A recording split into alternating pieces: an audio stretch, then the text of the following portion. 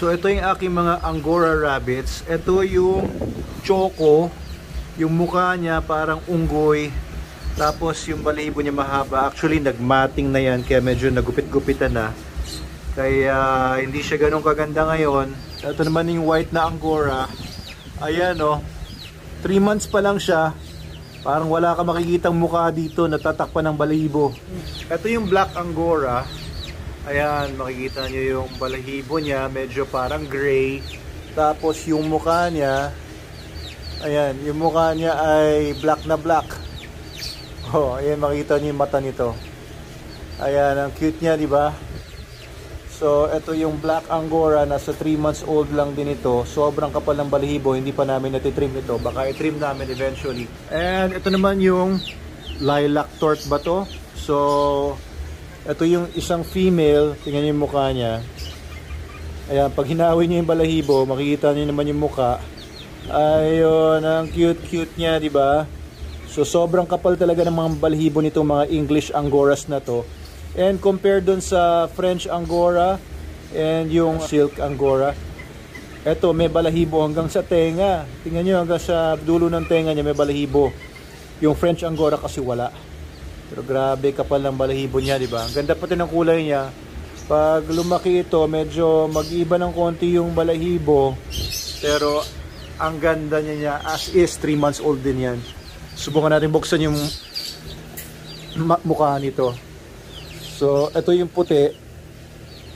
Parang yung at, ang pakaiba dito sa puting to, hindi makita yung mukha niya.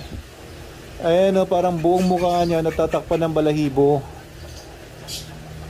Ayan, so siguro maganda i-trim ito para makadilat siya, oh. Nahirapan din siya, eh. Ano, ayan, nakita na natin. So, yung mata niya is pula. Pero, hindi na siya gaano makakita dahil sa balahibo niya. Sobrang kapal ng balahibo nito mga English Angoras na ito. Sobrang fluffy. Ito parang ulap. Parang parang cotton ball ito. Itong choco na to ay nasa mga 1 year old na rin, 11 months. Ayan, nagupitan na to kaya ganito itsura ng balahibo niya, woolly. Nagupitan na siya. Ayan, pero may mga mats pa rin.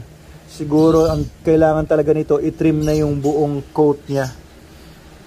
Ayan, so it will be our first time to take care of uh, English Angoras and grooming them. Yan ang special uh, care na kailangan dito. Pero basically, kinakain nila pareho din naman. Uh, we're actually feeding them now mga star grass and mga pellets, konti lang. Pero mostly, most of our rabbits here are ito mga short-haired lang na mga Californian whites. Californian ang pangalan ng breed nila. Ayan, so I have nine of these and incoming apat pa by January. So itong si Ashley tsaka si Aisha ay mga buntis. Hopefully makapag-reproduce na tayo. Itong mga Angoras baka hindi pa kasi ano pa sila, mga bata pa.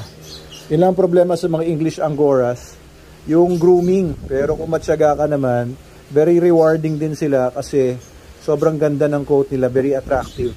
This is my mini rabbitry. Share ko lang po sa inyo.